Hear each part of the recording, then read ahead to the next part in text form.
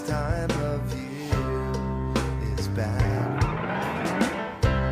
We are so very sorry, there is little we can do. But swine.